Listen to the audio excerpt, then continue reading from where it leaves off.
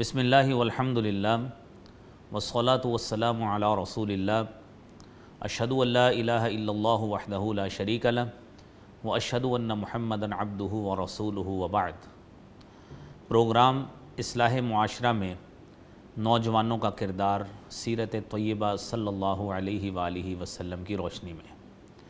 ناظرین کرام، آج اس سلسلے میں پہلا پروگرام جس کا عنوان ہے جوانی کا مقصد اور اس کی اہمیت۔ اور اس میں مختصر طور پر جوانی کا تعارف کہ نوجوانی کا عالم کیا ہوتا ہے، شباب کیا ہوتا ہے، اور یہ عمر کس چیز کا تقاضا کرتی ہے، اس کا مختصر تعارف پیش کیا جائے گا۔ ناظرین کرام، قرآن کریم میں اللہ رب العالمین نے جوانی کے لیے جو لفظ استعمال کیا ہے، وہ لفظ اشد، لفظ شباب، لفظ قوت اور لفظ فتیہ یہ استعمال کیا ہے۔ رب العالمین فرماتے ہیں علما بلغ اشدہ ہو آتینہ ہو حکم و علم کہ جب وہ اپنی جوانی کو پہنچا، ہم نے اس کو علم عطا فرمایا، حکمت عطا فرمائی۔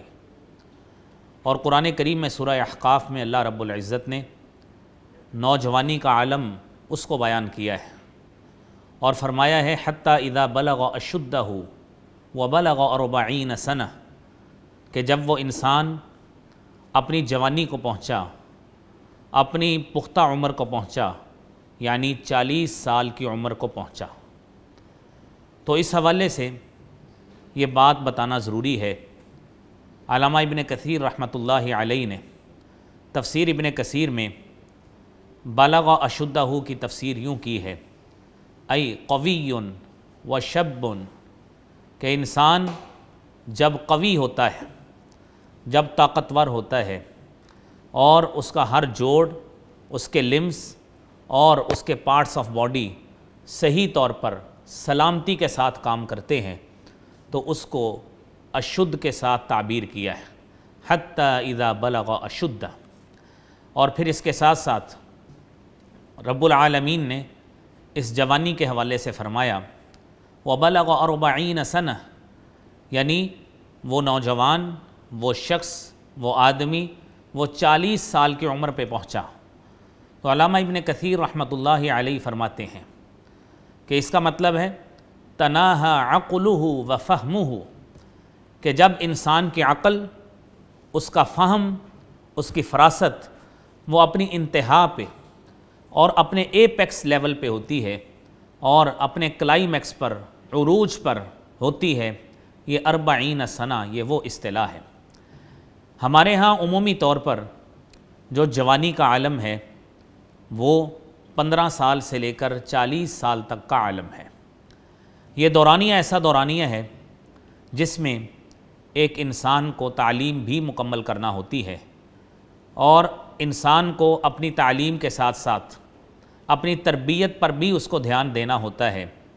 اسی دور میں ہی اس کی شادی بھی ہوتی ہے، اسی دور میں اسی کی اولاد بھی ہوتی ہے اور اسی عالم میں ہی اس کی اولاد کے حوالے سے اس نے خود آگے تربیت کا اہتمام کرنا ہوتا ہے۔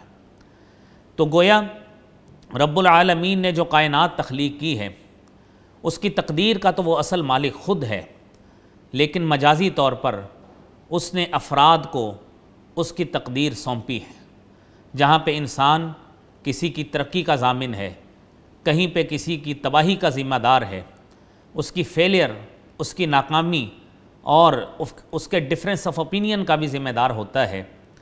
لیکن یہ معاشرے کا، یہ ملت کا وہ ستارہ ہے جو اپنا مقدر خود بھی بناتا ہے اور بسا اوقات اس کے خود ہی اس کو ڈیسٹینی کو، اپنی قسمت کو، اپنے اس مقدر کو تبدیل بھی کرتا ہے۔ اب یہ ایسا مقدر کا ستارہ ہے کہ جس طرح آسمان پہ ستارے ہیں اور آسمان پہ ستارے ان کی اپنی لائٹ نہیں ہوتی، اپنی روشنی نہیں ہوتی، وہ ادھار روشنی، مستعار روشنی لے کر اس کی ریفلیکشن وہ ہمیں مہیا کرتے ہیں اور پھر وہ چمکتے ہیں۔ اسی طرح وہ نوجوان آدمی کہ جس نے اپنی جوانی میں اپنے قلب کو، اپنے دل کو، اپنے دماغ کو صحیح طور پر نور و انوار کی تجلی سے معطر کیا ہے، حقیقی طور پر وہی اپنی جوانی میں اس کا صحیح طور پر اس کا ایک عکس پیش کر کے معاشرے میں اپنے اس مستعار نور جو اس نے حاصل کیا ہے نبی کریم صلی اللہ علیہ وسلم کے مشن نبوت سے، جو اس نے حاصل کیا ہے قرآن کریم سے، جو اس نے حاصل کیا ہے نبی کریم صلی اللہ علیہ وسلم کی تعلیمات سے، تو جب وہ نور اس کے دل میں ہوگا، جب وہ نور اس کے دماغ میں ہوگا، تو یقیناً اس کا دبیز پہلو، وہ یقیناً اس کے عمل کی صورت میں پبلک کے سامنے آئے گا، اور پھر وہ ایسی بلندی پہ پہنچے گا اور جوانی میں اس عالم تک پہنچے گا اور اس کردار کی اس بلندی کو چھوئے گا کہ جس کردار کے حوالے سے ہادی پیغمبر جناب محمد الرسول اللہ صلی اللہ علیہ وآلہ وسلم نے اپنی ساری زندگی محنت کر کے ایک ایسی ٹیم تیار کی تھی، ایک ایسی ٹیم آپ نے اپنے صحابہ کرام کی تیار کی کہ جن کا حقیقی معنوں میں تربیتی منہج وہ تھا، ان نوجوانوں کا وہ منہج تھا جو جناب محمد مصطفیٰ صلی اللہ علیہ وآلہ وسلم اپنے مشن نبوت سے لے کر آئے تھے اور اس کا پریکٹیکلی جو امپلیمنٹیشن تھی وہ آپ نے اپنے صحابہ کرام پہ کی تھی۔ ناظرین کرام، یہ انسان کا جوانی کا پیریڈ یہ کتنی اہمیت کا حامل ہے کہ انسان جب جوانی کی عمر کو گزارتا ہے، تو جوانی کی عمر گزارتے ہوئے اس کے سامنے کئی ایسے معاملات آتے ہیں زندگی میں کئی مراحل ایسے آتے ہیں کہ جس مرحلے میں اسے بسا اوقات باطل کے سامنے ڈٹ جانا پڑتا ہے۔ بسا اوقات اسے ایک سیسا پلائی ہوئی دیوار کی طرح کھڑا ہونا پڑتا ہے۔ بسا اوقات وہ کمپرومائز کی کیفیت سے بھی گزرتا ہے۔ اور جب وہ باطل کے سامنے ڈٹتا ہے تو رب العالمین نے ایسے جوانوں کے حوالے سے، ایسے نوجوانوں کے حوالے سے ایسی مثال ہمارے سامنے بیان کی ہے۔ جس کے حوالے سے آپ نے فرمایا ہے، قرآن کریم میں اللہ رب العزت نے اس کا بڑے بہترین انداز میں منظر کشی کر کے ہمیں بتایا ہے۔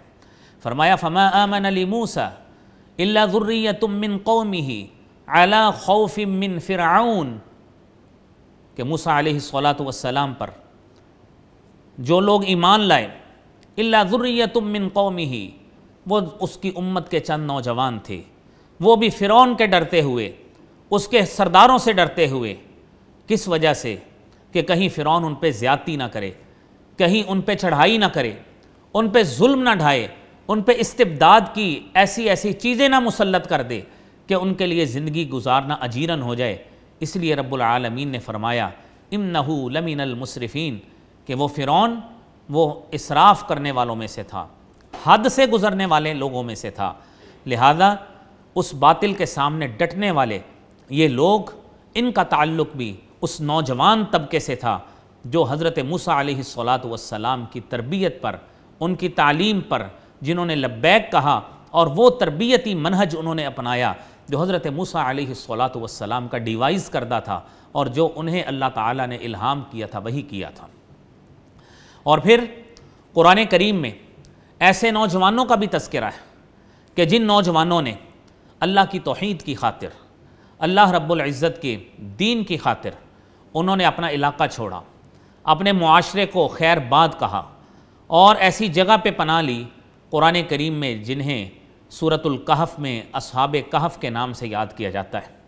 اور فرمایا گیا ہے، انہم فتیتن آمنوا بربہم وزدناہم ہدا کہ یہ لوگ ایسے لوگ تھے، فتیتن جو نوجوان تھے، آمنوا بربہم جو اپنے رب پر ایمان لائے۔ وزدناہم ہدا اور ہم نے ہدایت میں انہیں مزید قوت و توانائی بخشی یعنی ہدایت کو زیادتی دی، ہدایت کو زیادہ کر دیا۔ اب رب العالمین نے جو اصحاب کہف کا تذکرہ کیا ہے، یقیناً وہ ایسے لوگ تھے، نوجوان تھے، چند گنے چنے افراد تھے۔ معاشرے میں شرک اور گمراہی کی دلدل میں وہ نہیں رہ سکتے تھے۔ انہوں نے معاشرے سے سیپریشن اختیار کی، تنہائی اختیار کی۔ انہوں نے سیکلوین اختیار کرتے ہوئے ایک غار میں پناہ لی اور غار میں پناہ لے کر انہوں نے رب العالمین کے دین کی خاطر انہوں نے یہ سارا یہ کام کیا تھا، صرف اللہ کے دین کی خاطر۔ تو گویا نوجوان ہی ہمیشہ ایسے لوگ ہوتے ہیں، وہی نوجوان ہوتے ہیں جو ہمیشہ امت کے لیے، اپنی قوم کے لیے رہنمائی کا رول ادا کرتے ہیں، ہراول دستے کا کردار ادا کرتے ہیں۔ جو اپنی پوری قوم کے لیے ٹارچ بیئرر ہوتے ہیں مشعل بردار ہوتے ہیں، یہ ہمیشہ نوجوان ہوا کرتے ہیں۔ قرآن کریم میں انہی نوجوانوں کے حوالے سے مزید تذکرہ بھی موجود ہے۔ اور رب العالمین نے اصحاب کہف کو ہی اس انداز سے بتایا کہ نحن نقص علی کا نبأہم بالحق، کہ ہم ان نوجوانوں کا تذکرہ آپ کے سامنے حق کے ساتھ، صداقت کے ساتھ پیش کر رہے ہیں، کہ انہم فتیتن، کہ وہ نوجوان تھے۔ نبی کریم صلی اللہ علیہ وسلم کی احادیث مبارکہ پر اگر غور کیا جائے تو آپ علیہ الصلاۃ والسلام کی تعلیمات سے ایسے ایسے پیارے پھول اور موتی ملتے ہیں جنہیں چن کر جنہیں سوچ کر، سمجھ کر ہمیں اپنے اوپر نافذ کرنا ہے۔ وہ کیسے؟ رسالت معاب صلی اللہ علیہ وآلہ وسلم نے فرمایا فرمایا، سبعتن یضلہم اللہ یوم لا ظل الا ظلہ سات قسم کے خوش نصیب ایسے لوگ ہیں۔ صحیح بخاری کی حدیث ہے۔ یضلہم اللہ، جنہیں اللہ رب العزت سایہ عطا فرمائیں گے۔ یوم لا ظل الا ظلہ، جس دن کوئی سایہ نہیں ہوگا، سوائے اس سائے کے جو اللہ کے عرش کا سایہ ہے۔ اور آپ علیہ الصلاۃ والسلام نے فرمایا، ان سات خوش نصیبوں میں پہلا آدمی، الامام العادل، عادل حکمران۔ انصاف پرست حکمران انصاف کرنے والا، منصف حکمران عدل کرنے والا حکمران اس کو اللہ عرش کا سایہ نصیب فرمائیں گے۔ اور دوسرے نمبر پر آپ نے فرمایا، رجل شاب نشأ فی عبادت اللہ۔ ایسا نوجوان آدمی، ایسا نوجوان نشأ فی عبادت اللہ، جس کی نشو و نما، جس کی نورشمنٹ جس کے جسم کی بڑھوتوی اور جس کی ہر لحاظ سے اگر اس کو غذا ملی ہے تو صرف اللہ کی عبادت کی ملی ہے۔ جس کی نشو و نما ہوئی، جس کو اسپرچول اگر غذا ملی ہے، تو رب العالمین کی یاد کے حوالے سے ہی اس کو ملی۔ نشأ فی عبادت اللہ اللہ کی عبادت میں پرورش ہوئی۔ اللہ کی عبادت میں اس نے وقت گزارا۔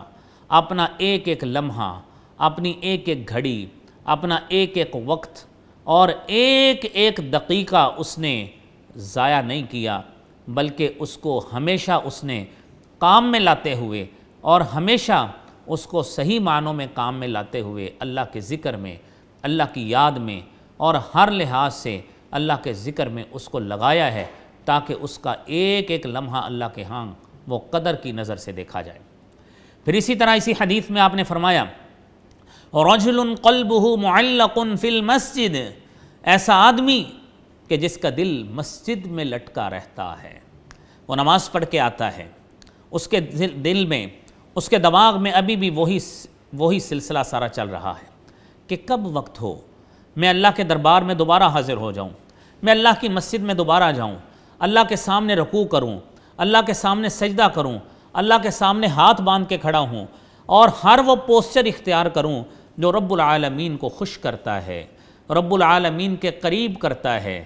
رب العالمین کا تقرب دلاتا ہے، رب العالمین کے نزدیک کرتا ہے، رب العالمین کا محبوب بناتا ہے۔ اس کی یہ خواہش اور کوشش ہوتی ہے کہ میں ہر وہ کام کر لوں جس سے میرا مالک راضی ہوتا ہے۔ اور پھر اس کوشش میں وہ کیا کرتا ہے؟ اس کا دل بار بار میں اب وضو کر لوں، میں اب نماز پڑھ لوں، میں اب پاکیزگی اختیار کر لوں۔ یہ وہ نوجوان ہے۔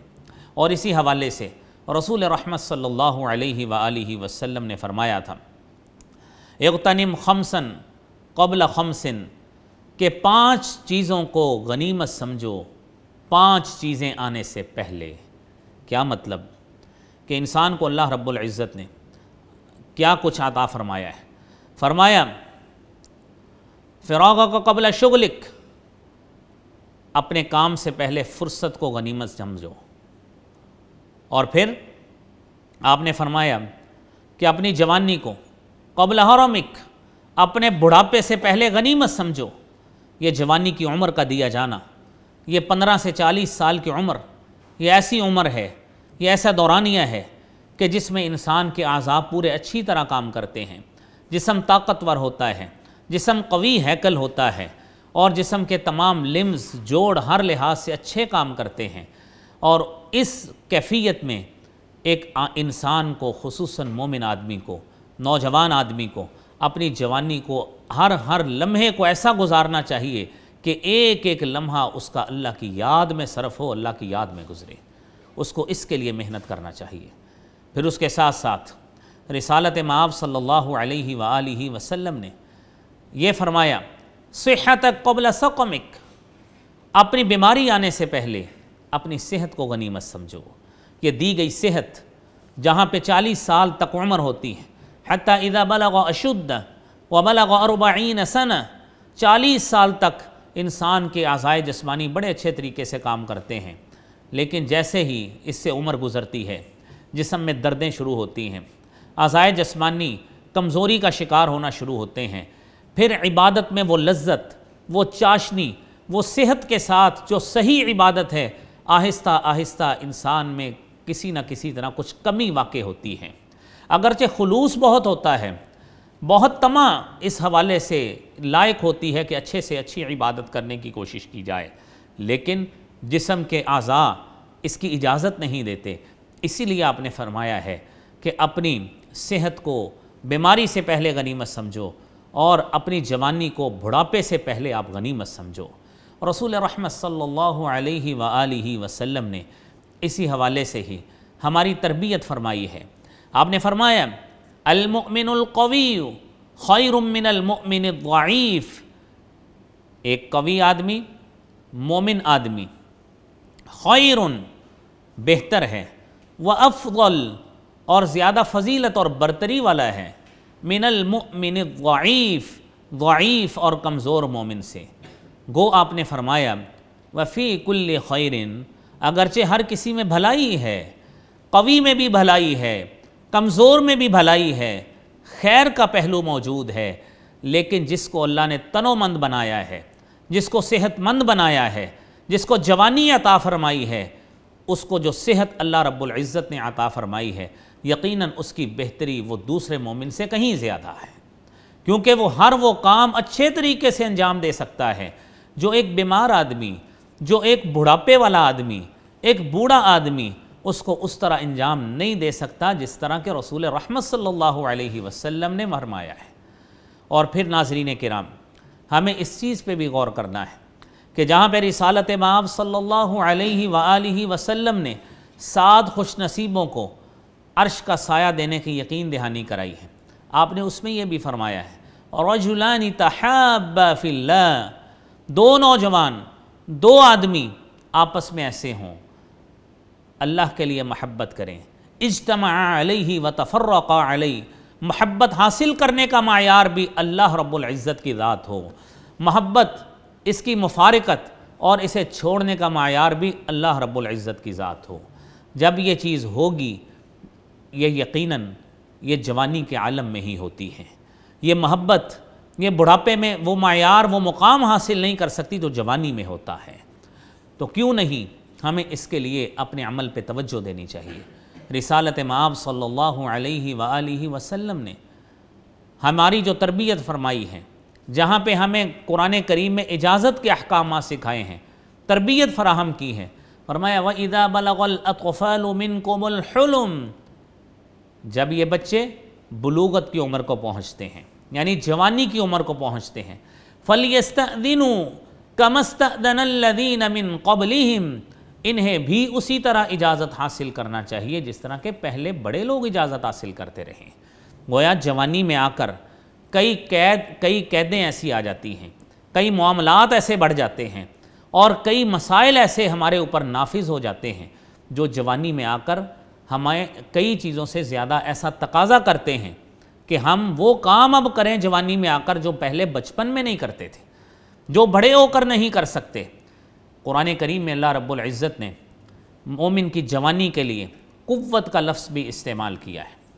سورہ روم میں اللہ رب العزت فرماتے ہیں، اللہ الذي خلقكم من ضعف ثم جعل من بعد ضعف قوة ثم جعل من بعد قوة ضعفا وشيبا رب العالمین کی ذات وہ ذات ہے جس نے انسان کو ایک نحیف، کمزور وہاں سے پیدا کیا یہ یقیناً میری بھی تخلیق ویسے ہوئی۔ ناظرین کرام، آپ سب کی تخلیق بھی ایسے ہی ہوئی کہ جب انسان کی پیدائش ہوتی ہے، ایک کمزور اور ناتواں شخص ہوتا ہے۔ ایک بالکل بیچارہ نحیف کمزور، چند کلو اس کا وزن ہوتا ہے، یہ انسان کی ابتدا ہے۔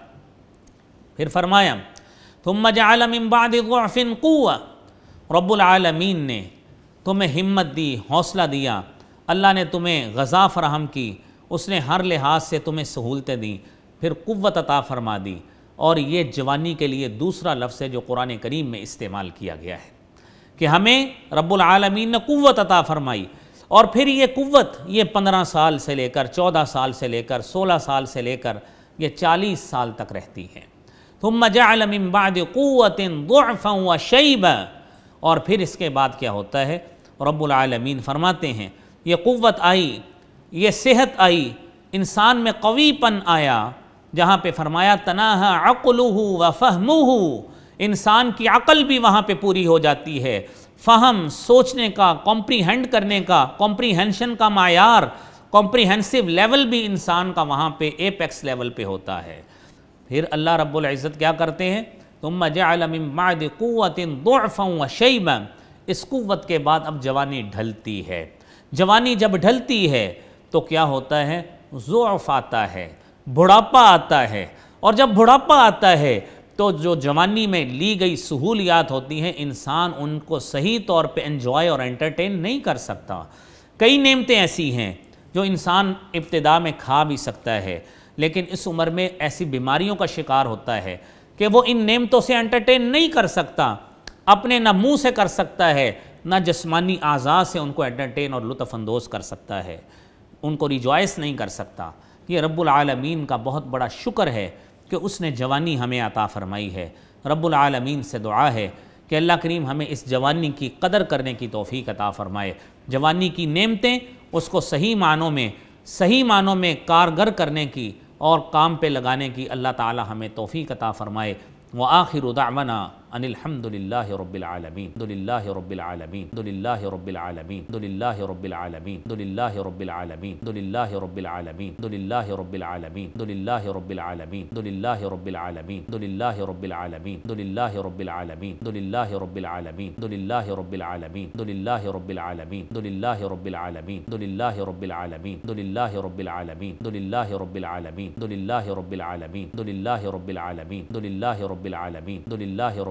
العالمين. الحمد لله رب العالمين. الحمد لله رب العالمين. الحمد لله رب العالمين. الحمد لله رب العالمين. الحمد لله رب العالمين. الحمد لله رب العالمين. الحمد لله رب العالمين. الحمد لله رب العالمين.